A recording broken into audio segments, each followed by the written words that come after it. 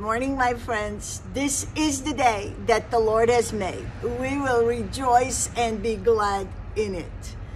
Yesterday was such a joyful day for me. Seven of us women, we went to the church and we decorated it for Christmas.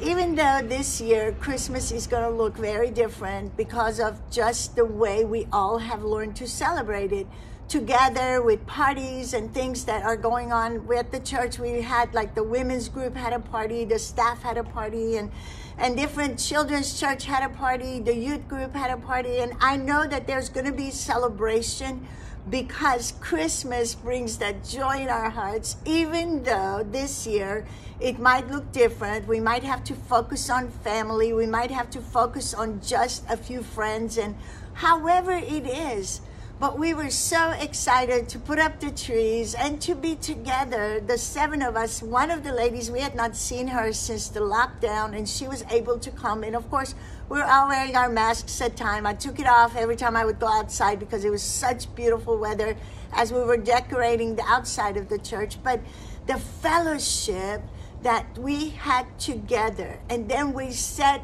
at lunch outside under the gazebo, and we had one on one and a few of us together. And we just were talking about so many things that are dear to our hearts. And we need that. We need that fellowship. And it was such a joy. And one of my friends, Bobby, who is so creative, and she had brought her husband, and we would make him go up the ladder and up high on the tree, and because none of us wanted to be up there, and it was just together, working together. And that's what the Lord talked about. The fellowship He wanted with us was that one on one with us, the fellowship that He had with the Father. And as I got into John 15 this morning, it was such a beautiful chapter. I love this chapter because Jesus says, I am the true vine, and the Father is the husbandman. And we are the branches that are in this vine. And then as he's talking about his word, because we know when we keep his commandments, he says we have blessings that are going to come upon us as we keep the words of the Lord Jesus Christ. And the Father God will abide with us as well, because he said, As I abide in the Father, abide in me.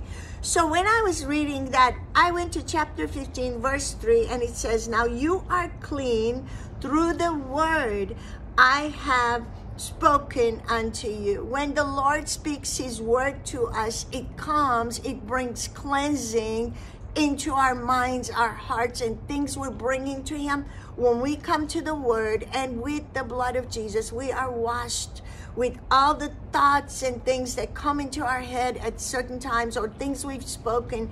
When we come to the word, it cleanses us. So verse 3 was the word cleanses us. And then I went to verse 5 and it says, I am the vine, you are the branches. He that abideth in me, and I in him, the same brings forth much fruit. For without me, you can do nothing. We have to remember this morning that without the Lord, we can do nothing.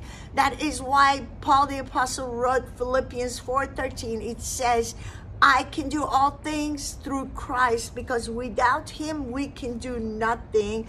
And then when I went to Uh, verse 7 If you abide in me and my words abide in you, you shall ask what you will, and it shall be done unto you. When we're abiding in his word, our thoughts, our desires are changing into what the Lord wants for us. And then when we ask for anything, whatever you will, it shall be done unto you. Because then you're doing it according to God's will, because you are abiding in Jesus and his words are abiding in you. That is such a great promise this morning that we can cling to. And then I love verse 11. These things have I spoken unto you and that your joy might be full. Not only will you just have joy, but it's going to be full, it said. And so it is so wonderful to have the joy of the Lord. And of course, being the Christmas season, I just love Luke where he writes chapter 2. And as children, we learned it by heart, most of this chapter about the shepherds coming and the Lord being born in Bethlehem. And verse 10, it says, And the angels that appeared unto the shepherds, this is what they said Fear not, for behold, I bring you good tidings of great joy.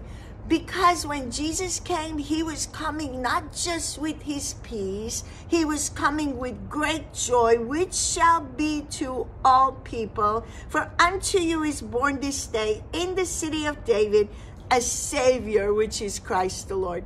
That is the joy we have today. Jesus has come to bring us his joy, but he's promised us that when we stay in the word, when we focus on his word, he's going to fill our hearts with joy. He's going to give out give our heart's desires to us. He's going to guide us and at the same time we're going to bring fruit for the kingdom. So this morning focus on his word because there is promises in his word for you today in your situation whatever we're facing today, God is able to do far above, exceedingly beyond what we imagine or think.